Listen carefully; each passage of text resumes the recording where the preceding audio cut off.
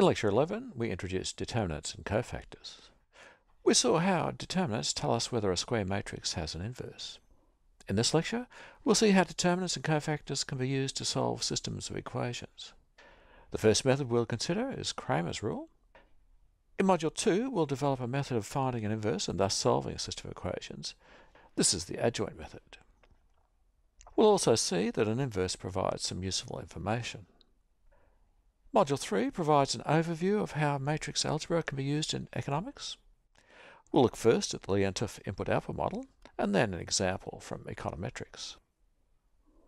Gabriel Cramer was a Swiss mathematician who published what is now known as Cramer's rule in 1750. This method is useful if we want to solve for just one variable in a system of equations. It's computationally inefficient for solving for all variables in systems of more than three equations. Cramer's rule is quite simple. The solution for a particular variable is just the ratio of two determinants. The denominator is the determinant of the matrix of coefficients. The numerator is the determinant based on the matrix of coefficients, but we replace one column with the column vector of constants, the right-hand side values. Which column we replace depends on the variable that we want to solve for. If it's the first variable in the argument of the function, we replace the first column, and so on. We actually came across this in lecture 11 when we looked at the solution of a two-equation system. We had our two equations in matrix form, and then the solutions. We saw how the denominator for the solution of each variable is the determinant of the matrix of coefficients. Now let's look at the numerator for these solutions for x and y. dp minus bq can also be expressed as the determinant of a matrix. In this case, it would be p q b d. The numerator is d times p minus b times q. We could call that the determinant of a subscript x because this is the matrix of coefficients with the first column replaced by the right-hand side constants. Similarly for y, aq minus cp can be expressed again as a determinant. That would be ac in the first column and then pq in the second column. So once more, a times q minus c times p. In this case, we have the second column replaced by the vector of constants. We can do the same thing for a system of three equations. To solve for x1, the first variable in the argument, we replace the first column in the matrix of coefficients by the vector of constants. So we have the ratio, the determinant of a1 over the determinant of a. Similarly for x2, we replace the second column with the vector of constants, and for x3, the third column. As I mentioned earlier, we usually use Cramer's rule when we want to solve for just one of the variables. Now we'll apply Cramer's rule to a couple of examples. First, we have a simple macroeconomic model. So this is two equations, two unknowns. And then we'll look at a system of three equations. In this example, we have a very simple macroeconomic model. Y is national income, usually measured as GDP. It's a function of consumption by households, plus investment by business, plus government expenditure. Consumption is a function of income. A is an intercept term, and B is the proportion of income spent on consumption. So B is equal to the marginal propensity to consume. As I said, this is a very simple model. In the tutorial, we extend the model by including taxation, so we have consumption as a function of disposable income.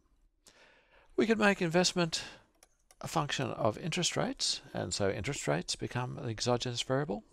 That includes monetary policy. This is a closed economy. We could add exports, imports, and exchange rates. In any case, this is the type of model that we might use Cramer's rule for. Say the government sets a new level for government expenditure, and they want to determine the change in consumption. Then we'd solve for C. These are our original equations. We want to get them into a form where we have the variables on the left and the constants on the right. Equation 1 becomes y minus c is equal to i plus g. Remember i and g are exogenous variables. We treat them as constants. Equation 2 we'll have y first, so we'll have minus by plus c is equal to a. Now we get the equations into matrix form. The coefficients for the first equation are 1 and minus 1, and for the second equation, minus b and plus 1. A matrix of coefficients. We have y and c as our variables, and on the right hand side, the constants. I plus g and a. Now we have our equations in the right form. We solve for c using Cramer's rule. Where c is equal to the determinant of the A matrix with the second column replaced, divided by the determinant of A. Let's work out those determinants. The numerator is the determinant of A with column 2 replaced. Column 1 is the same, 1 minus b. And then in the second column, i plus g and a. And take the determinant. That's equal to 1 times a minus minus b times i plus g. That's a minus minus, so plus b times i plus g. Determinant of a is equal to 1 minus b. The second column is minus 1 and 1. Take the determinant.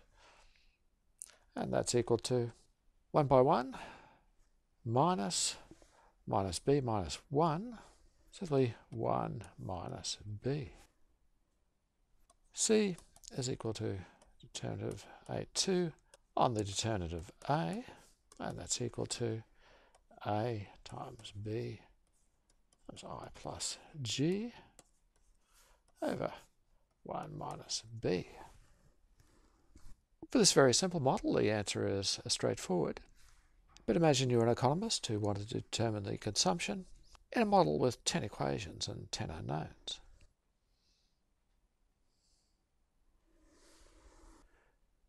In example 2, we solve for x in this system of equations that should be very familiar from lecture 11. First, we get our equations into matrix form. Now we'll solve for x. This is our formula. It's the ratio of the determinant of A with the first row replaced by the vector of constants divided by the determinant of A. We'll find the determinant of A first. There's a zero in the first row, so we'll expand along that row. Our first term will be well, plus zero, we have a plus sign there. Our second term will have a minus sign, and then the element 2 times the determinant of the submatrix. So it'll be 1, 3, minus 3, 2. Our third term has the plus sign. The element is minus 1 times the determinant of the submatrix. 1, 1, minus 3, 2. It's equal to minus 2 times 2 1 times 2 minus minus 3 times 3 so that will be plus 9 minus 1 times 1 times 2 2 minus minus 3 times 1 so it'll be plus 3 and that's equal to minus 27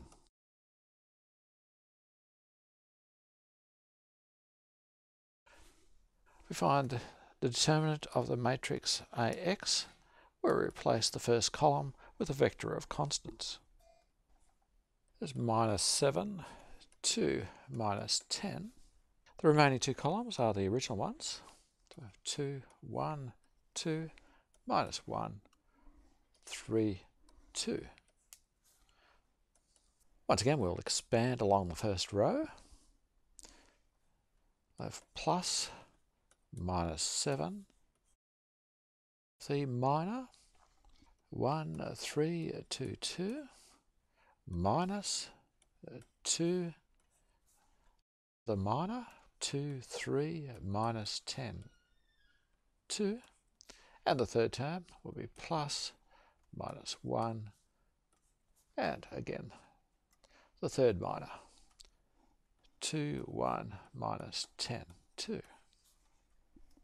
It's equal to minus 7 times 1 times 2, 2 minus 6, minus 2 times 2 times 2, 4, minus 3 by minus 10, plus 30, minus 1 times 2 times 2, 4, minus 1 times minus 10, plus 10.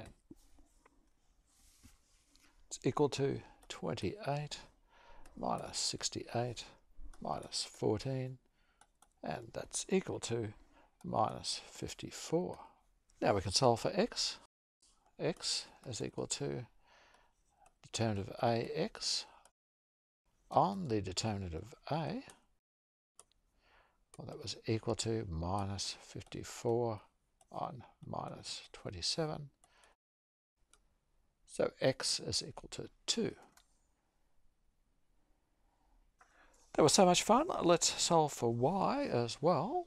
y is equal to the determinant of ay, substituting the second column with the vector of constants over the term of a.